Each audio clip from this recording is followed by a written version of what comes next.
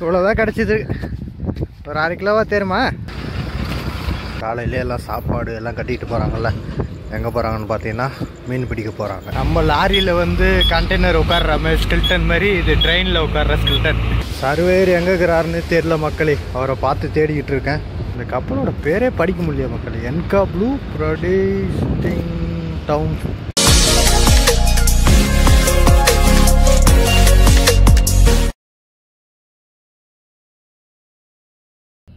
welcome back to the channel guys மக்களே இப்போ எங்கே இருக்கேன்னு பார்த்தீங்கன்னா சென்னையில் திருவெற்றியூர் சென்ட்ரல் கவர்மெண்ட் வேர் ஹவுஸில் நிற்கிறேன் பில்லு பிரிண்ட் அவுட் பண்ணுறதுக்காக ஒரு இங்கே ஒரு லூஸு கூட்டுனே இருக்குது. வா கடலில் போயிட்டு மீன் பிடிக்கலாம் மீன் பிடிக்கலான்னு. காவேரியில் பார்த்தீங்கன்னா நத்தை பிடிக்கலாம்னு சொல்லிட்டு கூட்டுன்னு இருந்தது. இங்கே போய் கடலில் போய் மீன் பிடிக்கலாம் யாராவது வாங்கிட்டு போயின்னு கூப்பிட்டுருக்கு சரி இங்கே எப்படி சாயந்தரம் மேலே ஆகும்? கொஞ்ச நேரம் போர் அடிக்கும் அப்படியே போய் சுற்றி பார்த்துட்டு வரலாம். இந்த வெள்ளை கலர் பனியன் போட்டு ஒரு ப லூஸு போகுது பாருங்கள் அதுதான் சும்மா இருக்க மாட்டேங்குது. ஹைதராபாத்தில் லோடு ஏற்றணுமா சென்னையில் வந்து இறக்கணும். டயர்டாக இருக்குது. வந்ததே பன்னெண்டரை மணிக்கு தான் இது வா போலா வா போலா சொல்லி ஏற்றுட்டு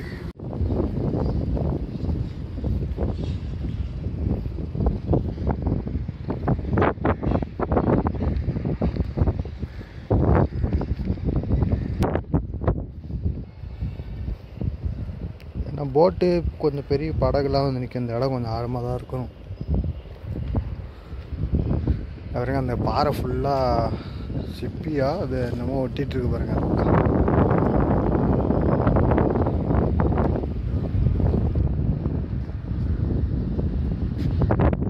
இப்படியும் பில்லு பிரிண்ட் அவுட் பண்ணுறதுக்கு சாயந்தரம் வரைக்கும் ஆகும் கொஞ்ச நேரம் டைம் பாஸ் ஆகும் ஏன்னா என்ன ஒன்று வெயில் தான் கொஞ்சம் பயங்கரமாக அடிக்குது இன்னைக்கு எவ்வளோ தான் கிடைக்குதுன்னு சொல்லிட்டு பார்க்கலாம் மீன்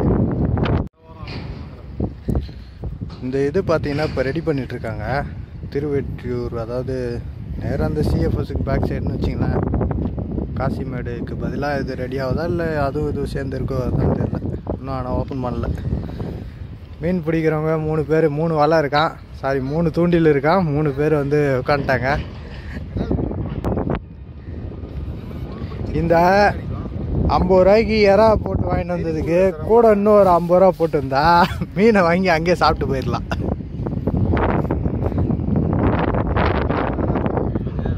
இங்கே முள்ளு கட்ட? ஏன் இன்னும் முள்ளு அதே முள்ளு. அவ்வளோ சின்னதாக இருக்குது. எல்லாம் அங்கே இது தானே போடுறாங்க. சரி போடு என்ன கிடைக்குதுன்னு பார்க்கலாம் இதான் கிடைக்குது போட்டோ போடுமா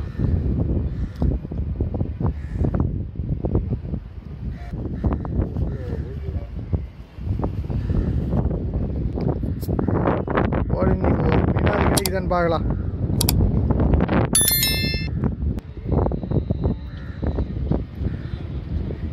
குட்டி என்ன மீன் அது? ஆ பாறை கிடையாது அது. இது பாறை கிடையாது. இது பாறை இல்லை. பாறை அது. மக்களே யாருன்னா இது பாறை மீனா தெரிஞ்சா கமெண்ட்ல சொல்லுங்க. எனக்கு என்னமோ பாறை மாரி தெரியல இது.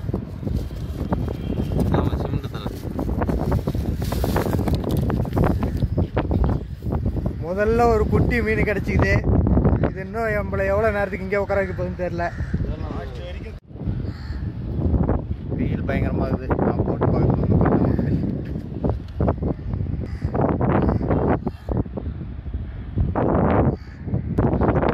எறாவை கோத்து வஞ்சரம் கஞ்சரம் கிடச்சிதுன்னா நல்லாயிருக்கும்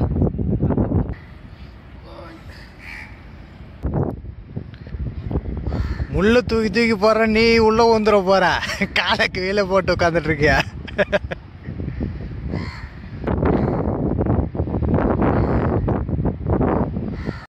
குட்டி குட்டி sizeலயே கிடைக்குது. ரெண்டாவது பாட்டி சேர்ந்து குவாரி போடு ட்ரை பண்ணுது ஆனால் போட முடியல அதனால தெரியல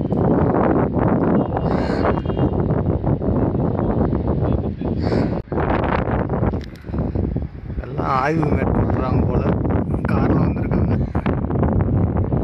இந்த சைட்டை எப்படி உருவாக்கியிருக்காங்க அப்படி எப்படின்னு செக் பண்ணாங்க போல்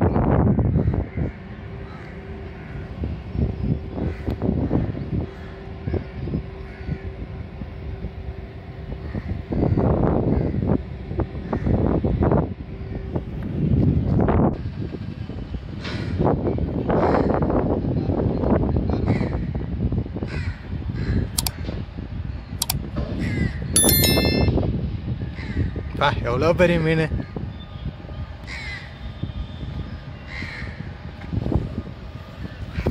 ஓகே மக்களே எவ்வளோ மீன் கிடைக்குதுன்னு பா கடைசியில் சொல்கிறேன் அந்த இடத்துல ஒன்றும் அந்தளவுக்கு கிடைக்கல.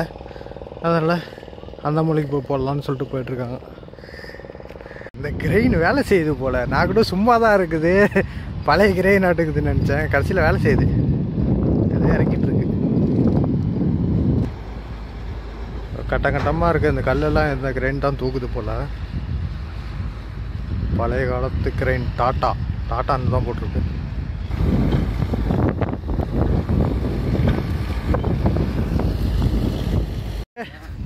எங்க காட்டு? இவ்வளோதான் கிடச்சிது. ஒரு அரை கிலோவா தேருமா? அரை கிலோ வரும். ஐயோ கீழே கல்லு கல்லாகுது.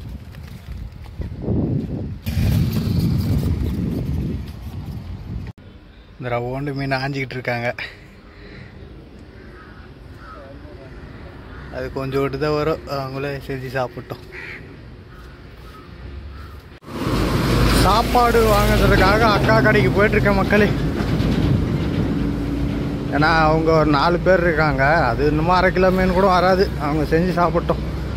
நம்ம ஹோட்டலில் சாப்பிட்லாம். வெறும் கூட்டமாக தான் இருக்குது. என்ன கல்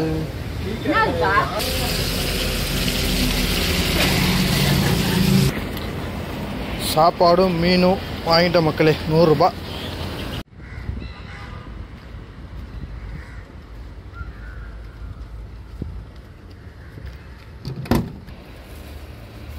சாப்பாடு வாங்கிட்டு வண்டிக்கு வந்துட்டேன். சரி ரைட்டு சாப்பிட்டுட்டு வெயிட் பண்ணுவோம். இவங்க எப்படியும் பில்லு எப்படியும் நேரம் கட்ட நேரத்தில் தான் கொண்டு வந்து கொடுப்பாங்க. ஓகே மக்களே சாப்பாடு இருக்குது சாப்பிட்டுட்டு அனல் வேறு பயங்கரமாக தூக்கமும் வராது. சரி நான் பில்லு வாங்கிட்டு கிளம்பும்போது கண்டினியூ பண்ணுறேன் நினச்சது போலே ஆயிடுச்சு மக்களே. டைம் பார்த்தீங்கன்னா மூணு நாற்பதாவது விடியங்காலையில் இப்போ தான் கொண்டு வந்து பில்லு கொடுத்தாங்க. சாயந்தரமே எதிர்பார்த்தேன். சரி ரைட்டு வாங்க எஸ்டிபி கேட்லேருந்து அவுட் பண்ணி ஹார்பருக்கு போகலாம் இந்த இது எந்த எந்த ஹார்பர் கொடுத்துருக்காங்கன்னு தெரியலையே. வேற ஒரு முனையில போட்டு வச்சுருப்பாங்க மக்களே. பிஎஸ்சி புது போர்ட்டு தான் கொடுத்துருக்காங்க. சரி ரைட்டு கிளம்பலாமா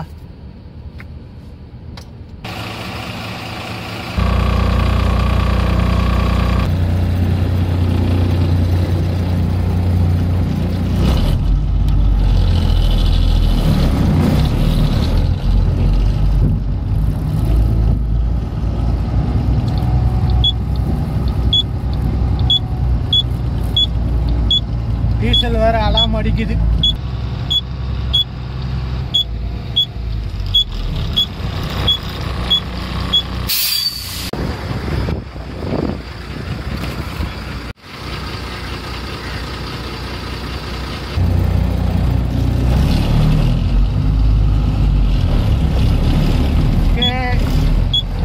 அவுட் பாஸ்ல போயிட்டு சீல் போட்டு வாங்கிட்டு வந்தாச்சு மக்களே. அவுட் பண்ணலாம் டீசலு வேற கம்மியாக தான் இருக்கு அது போய் இறக்கிட்டு வரோம் ஒன்றும் பிரச்சனை இல்லை.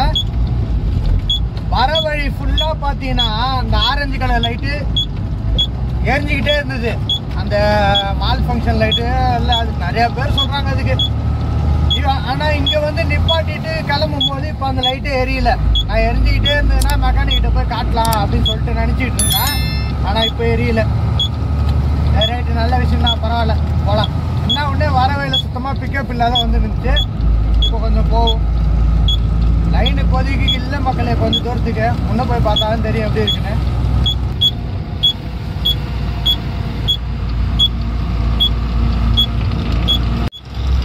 டைம் பார்த்தீங்கன்னா நாலு முப்பது ஆகுது. டீ கடை இருக்குமா? தெரியலையே. டீ கடை டீ கடை இருக்குது இது வந்து ஆர்பர் போகிற வண்டி லைன் மட்டும்தான். அதனால் அந்த செகண்ட் லைன்லேயே நிப்பாட்டும். இடம் இல்லை. ஒன்றும் பிரச்சனை கிடையாது. ஏன்னா அதில் டூ வீலர் காரு பஸ்ஸு எதுவும் வராது. வரும் மக்களே காலையிலே எல்லாம் சாப்பாடு எல்லாம் கட்டிக்கிட்டு போகிறாங்கல்ல எங்கே போகிறாங்கன்னு பார்த்தீங்கன்னா மீன் பிடிக்க போகிறாங்க அவங்க எல்லாம்.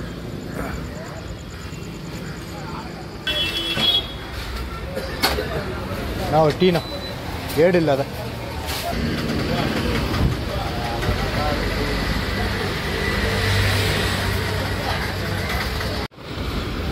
பின்னாடி பார்க்கிங் லைட்டு டேஞ்சர் லைட்டில் ஒரு இது லைட் எரியல போல இது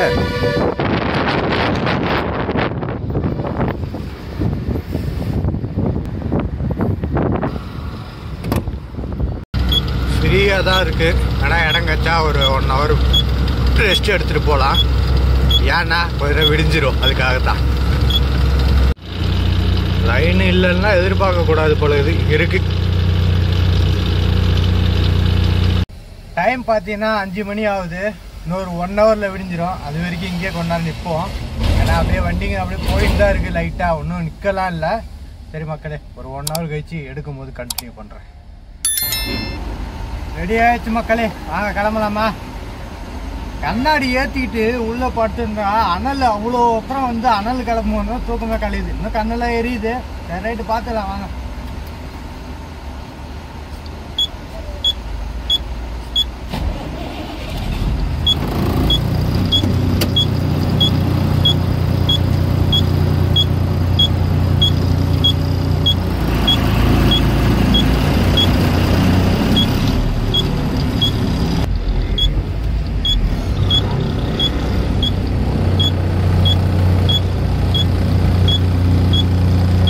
ஸ்கேன் பண்ண உள்ள போகிற இடத்துலையும் வண்டி லைன் நிற்கிது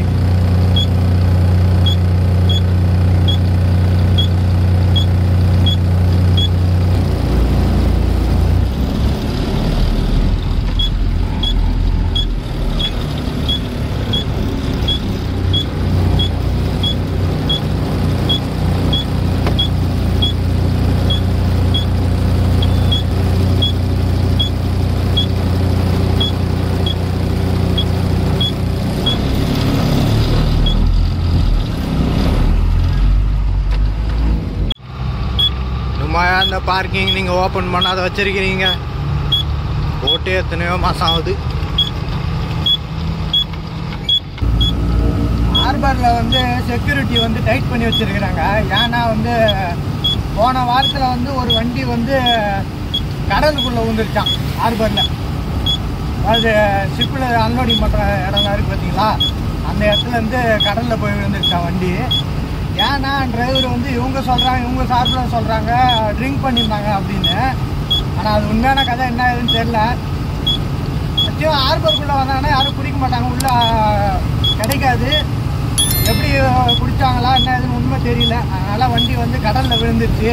அதனால் வந்து ஃபுல்லாக வந்து இப்போ டிடி மிஷின் இந்த ஊதுவோம்ல போலீஸ்காரங்களாம் ஊதுவ வைப்பாங்க பாருங்க. அந்த மிஷினில் ஊத வச்சு அதுக்கப்புறம் தான் வண்டியெல்லாம் உள்ளார இன் பண்ணுறாங்க அதே மாதிரி அவுட் பண்ணும் போதும் ஊதி தான் அவுட் பண்ணுறாங்க மறுபடியும் நம்ம அவுட் பண்ணும் போதும் ஊதணும். ஏன்னா உள்ளே வந்து குடிச்சிட்டாங்களா? இல்லை வெளியே அவுட் பண்ணும்போது குடிக்கிறாங்களா? அப்படின்னு சொல்லிட்டு செக் பண்ணுறாங்க கொஞ்சம் அதிகமாக அப்படி குடித்து மாட்டிட்டா வந்து மூணு மாதம் வந்து வண்டி பிளாக் லிஸ்ட் மூணு மாதம் வந்து ஆர்பருக்குள்ளார வராது வண்டி வர முடியாது. டிரைவருக்கும் பாஸ் வந்து மூணு மாதம் ஸ்கேன் கேன்சல்னு நினைக்கிறேன். டிரைவரும் மூணு மாதம் ஆர்பருக்குள்ளே வர முடியாது. அந்த மாதிரி ரூல்ஸ் போட்டிருக்காங்க. ஒரு கார்கோ ஷிப்பும் இந்தியன் நேவியோட ஷிப்பும் நிற்கிது போன தடவை பார்த்தீங்கன்னா கொச்சின் போர்ட்டு போகும்போது அதில் வந்து பார்த்தீங்கன்னா ஏகப்பட்ட ஷிப்பு வந்து நேவிது அதாவது கடலோர படை சொல்லுவாங்க இல்லையா? அந்த ஷிப்பு எல்லாமே நிறையா நின்றுது சம்மரின் கூட பார்த்தேன். நீர்மூழ்கி கப்பல் கூட பார்த்தேன். அப்படியே ஆப்போசிட்டில் இருக்கு பாருங்கள் மக்களே. அதான் புது போர்ட்டோட ஷிப்பு லோட் லொக்கேஷனு மூணு நிற்குது மூணு ஷிப்பு நிற்குது நம்ம லாரியில் வந்து கண்டெய்னர் உட்கார்ற மாதிரி ஸ்கில்டன் மாதிரி இது ட்ரெயினில் உட்கார்ற ஸ்கில்டன் இன்னும் லோடு பண்ணலை எம்டியாக தான் இருக்குது இதில் கொச்சின் போர்ட்டுக்கும் நம்ம போர்ட்டுக்கும் என்ன வித்தியாசம்னா கொச்சின் அதில் வந்து சுற்றி சுற்றி வந்து கப்பல் கட்டுற மாதிரி இடம் நிறையா இருக்குது ஆனால் எல்லாமே சின்ன சின்ன கப்பல் கட்டுற மாதிரி தான் இருக்குது அதே மாதிரியே பார்த்தீங்கன்னா இங்கே நம்ம சென்னையில் வந்து பழைய ஹார்பர் தான் டிபி வேல்டுன்னு சொல்லுவோம். ஆனால் அங்கே கொச்சின்லேயும் டிபி வேல்டுன்னு ஒன்று இருக்குது ஆனால் அந்த அங்கே போகல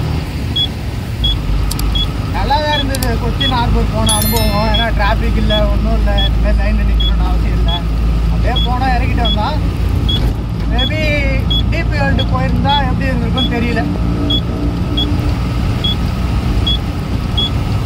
இங்க பாருங்க இதுக்கப்புறம் பண்ணிக்கிட்டு இருக்காங்க கண்டெய்னர் ஃபுல்லாக அப்படியே லோடாக ஆகி பாருங்க ட்ரெயினில் அந்த சைடு இன்னும் பாதி லோடு ஆகல.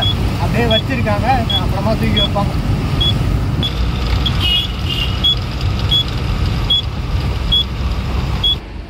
சர்வே பண்ணுற இடத்துக்கு வந்து நிற்கிற மக்களே சர்வேர் வந்தாருன்னா சர்வே பண்ணிவிட்டு அப்படியே உள்ளே போக வேண்டியதுதான். சர்வேர் எங்கே இருக்கிறாருன்னு தெரியல மக்களே. அவரை பார்த்து தேடிக்கிட்டு இருக்கேன்.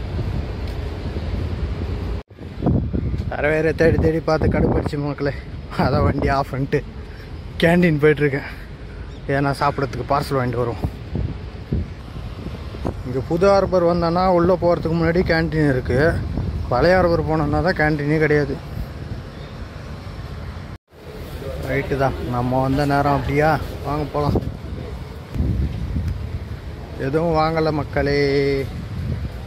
அரை மணி நேரம் ஆகுன்ட்டாங்க அது வரைக்கும் லைன் நிற்காது நான் வந்ததுன்னா கொஞ்சம் கொஞ்சம் ஆரம்பிச்சிட்ருப்பாங்க அதனால் போகலாம் சரி ரைட்டு விடுங்க. மத்தியானம் சாப்பாடு பார்த்துக்கலாம். டைமே பத்து மணி ஆகுது. இன்னும் ஒரு அரை மணி நேரம் ஆகுன்றாங்க சரி வெயிட் பண்ணலாம். முடியாது. நம்ம வண்டி அங்கே கேட்டுக்கிட்ட இருக்குது ஏன்னா அவ்வளோ வண்டி பின்னாடி நிற்கிது பார்த்தீங்களா? முன்னாடி வண்டி போயிட்டு நம்ம வண்டி எடுக்கலைன்னா ஒய்யம் ஒய்யம் ஒய்யன்னு ஆறுனா மேலே ஆறுனா அடிச்சிட்டு இருப்பாங்க. அப்புறம் வண்டி ஆளை காணும் தேடுவாங்க. எதுக்கு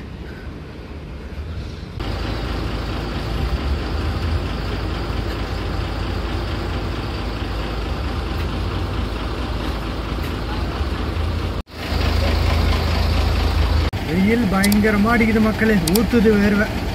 அதான் சர்வேலாம் முடிச்சுட்டு பேப்பர்லாம் கொடுத்துட்டு வந்து வண்டியில் ஏறி உட்காடுறேன் இன்னும் வண்டி நவுரில் அவங்க உடனே அப்படியே லைனில் போக வேண்டியதான் வெயில் பட்டைய கிளம்புது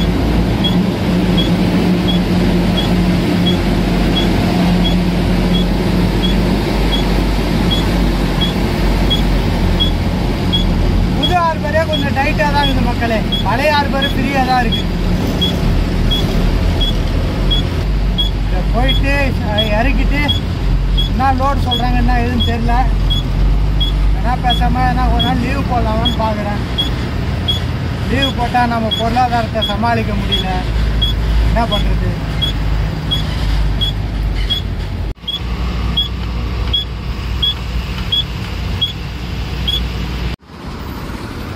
இது லாக்கெல்லாம் திருப்புவோம். ஸ்லாட்டில் வந்து நின்னாச்சு.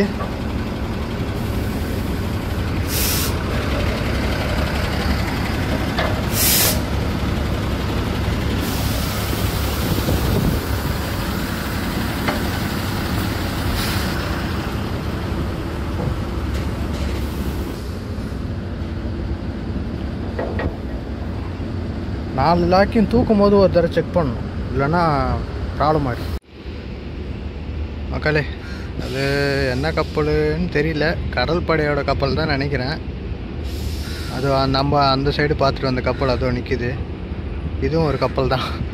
இங்கே இங்கேயே மூணு கப்பல் நிற்கிது ஆனால்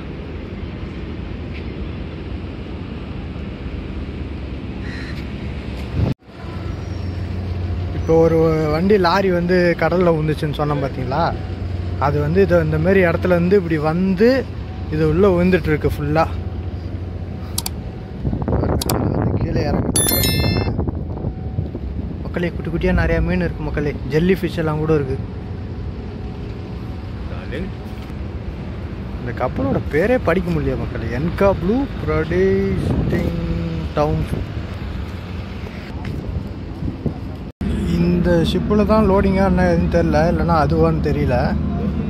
அநேகமாக இதான் காலியாக இருக்குது இதில் தான் இருக்குது வசூல் புக் பண்ணியிருப்பாங்க மற்ற வண்டி கண்டெய்னர் லோடிங் பண்ணிவிட்டு இந்த லைனில் தான் ஏற்றுவாங்கன்னு நினைக்கிறேன். சரி வெயிட் பண்ணி பார்க்கலாம். கீழே ரொம்ப நேரம் நிற்கக்கூடாது வண்டியில் போய் உட்காரோம் டைரக்ட் டெலிவரின்றதால நம்ம இங்கே நிற்கிறோம் இல்லைன்னா அதே மாதிரி லைனில் தான் நிற்கணும் லைன்னா ஸ்லாட்டு பார்த்து அதில் நம்பர் படி போய் நின்னோன்னா அது ஆர்டிஜி இருக்குது பார்த்தீங்களா அதை வச்சு தூக்கிடுவாங்க.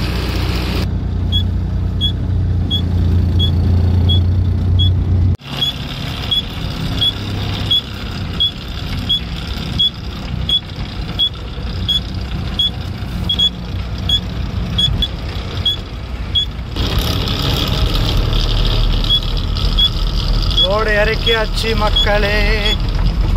லோடு இறக்கிட்டு இந்த புது ஹார்பர் கேட்டை மட்டும் அவுட் பண்ணி வெயிட் பண்ண சொல்லியிருக்காங்க மக்களே. அதுக்கப்புறம் என்ன எது சொல்கிறான்னு பார்த்துட்டு சொல்கிறேன்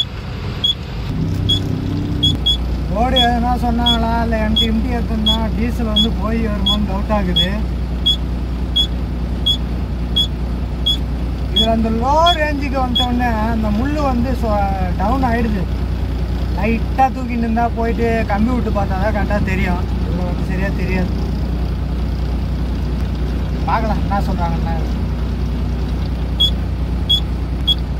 இந்த கேட்டு புது ஹார்பர் கேட்டு அவுட் பண்ணுறதுக்கே லைன் நிற்கிது ஆல்ரெடி வரும்போதே பார்த்துட்டு தான் வந்தேன். வெளியே ஜீரோ கேட் அவுட் பண்ணுற இடம் பயங்கரமாக லைன் நிற்கிது எப்படி சேர்ந்துருக்கோம் எவ்வளோ தூரம் நிற்கிதுன்னு தெரில ஒன் த்ரீ ஃபைவ் சிக்ஸ்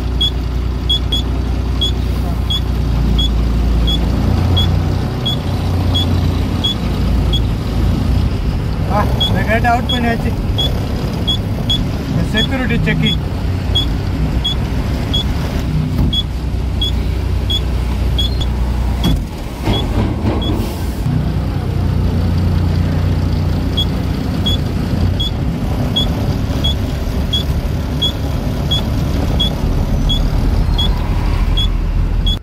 புது ஹார்பர் கேட் அவுட் பண்ணி வெளியே வந்து நின்றுட்டு இருந்த மக்களே.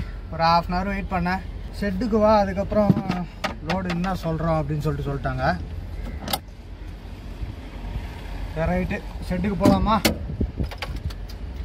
ஆனால் இந்த ஜீரோ கேட் அவுட் பண்ணணும்னு நினச்சா தான் கொஞ்சம் கஷ்டமாகுது மக்களே. அவ்வளோ வண்டி நிற்கிதான் எனக்கு முன்னாடி போன வண்டியை இன்னும் வெளியே அவுட் பண்ணாதான் தான் இருக்குது.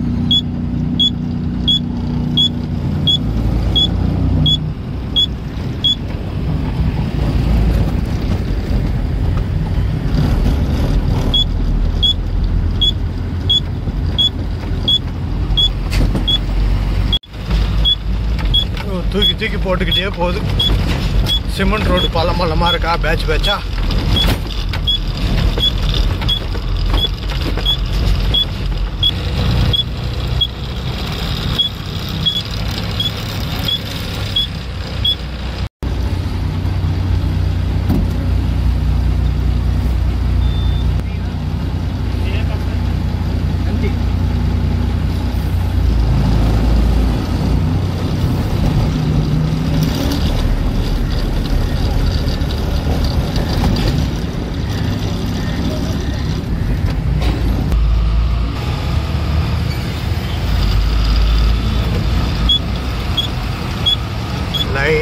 வண்டி நிற்குது எல்லாம் பழைய ஹார்பர் போனால் எல்லாம் ஃப்ரீயாக இருக்குது தப்பிச்சிருவாங்க. புது ஹார்பர்லாம் ஃபுல்லாக முட்டிங்குது.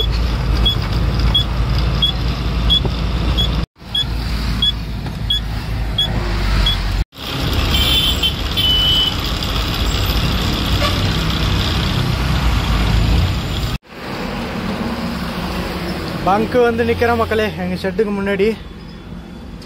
ஷெட்டுக்கு வா ஷெட்டுக்கு வான்றது. ஆனால் அங்கே வந்தால் ஒரு அரை மணி நேரம் ஒரு மணி நேரத்தில் ஏன்னா ஒரு லோடை குத்து துரத்தி விட்ருது அதுக்கு வர வயலே எங்கன்னா சொல்லியிருந்தா நான் அங்கன்னே ஏற்றிட்டு அப்படியே போயிருப்பேன்ல. சரி ஓகே மக்களே. இந்த வீடியோ நான் இதோட என் பண்ணிக்கிறேன். அடுத்த வீடியோவில் என்ன லோடு என்ன சொல்லிட்டு கண்டினியூ பண்ணுறேன் பாய்